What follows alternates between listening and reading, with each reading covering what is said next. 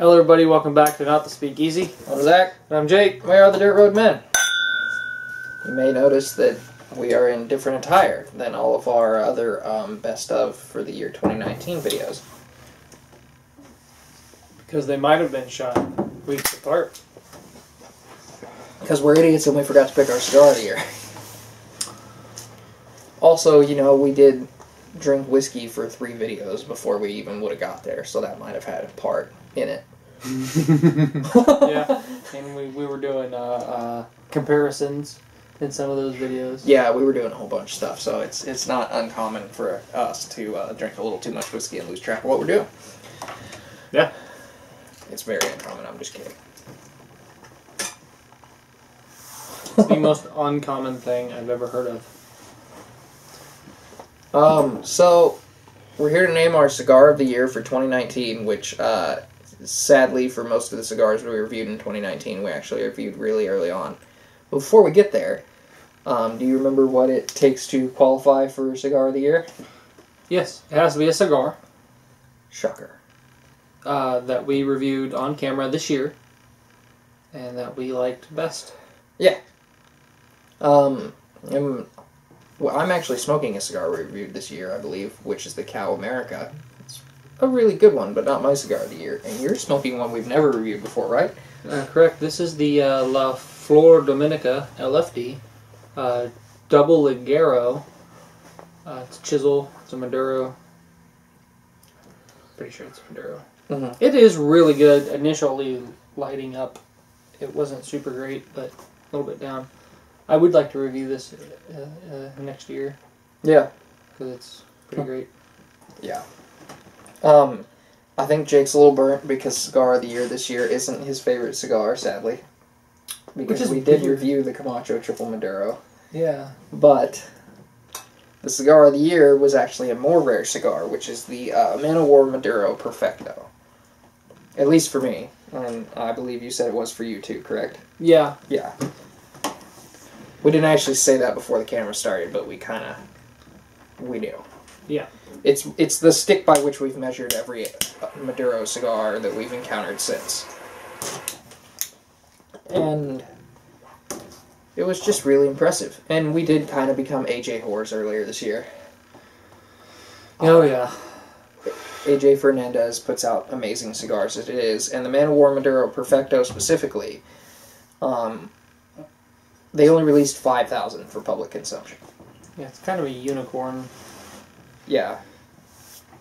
Now, the Man O' War does have a Maduro that they put out that is a similar blend, but it's sort of like a barrel pick of whiskey versus the flagship version of the whiskey. That is a really good way to put that. Um, it was just better. The Man O' War Maduro is good. I think it was the Ruination Maduro that we also reviewed this year. Yeah. But I like the Camacho Triple Maduro better than that one. The Man O' War Maduro Perfecto that we got that had the silk bands and everything was just a cigar that I've never.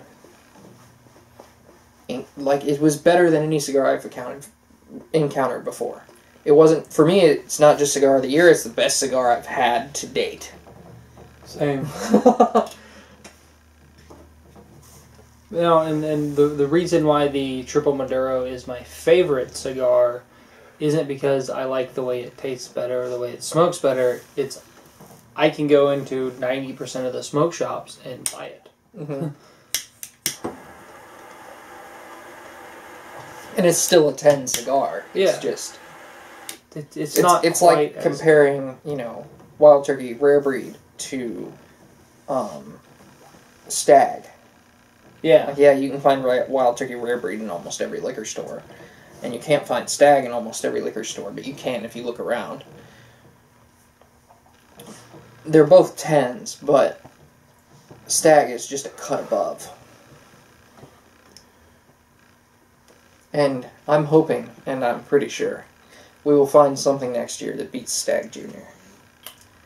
And I'm pretty sure because I will have the uh, monetary resources to acquire said whiskeys. um, but yeah, so cigar of the year from Dirt Road Men for 2019. the Man O' War Maduro Perfecto. It's phenomenal. It's the best. Everybody should buy them and send them to us. Especially if you can still find them. Yeah, I imagine if we were able to get them, we we were able to get a few of them, I think in total we had like 15. Which is a good amount for those cigars. Um, out of five thousand, so Yeah. But I suppose that's all we've got. This uh, this will probably be the last video we have going up for in 2019. So happy New Year, everybody. fuck off 2019. Yes, fuck 2019 and everything it stands for. Till we see you again, I'm Zach. I'm Jake. and We are the Dirt Road Men.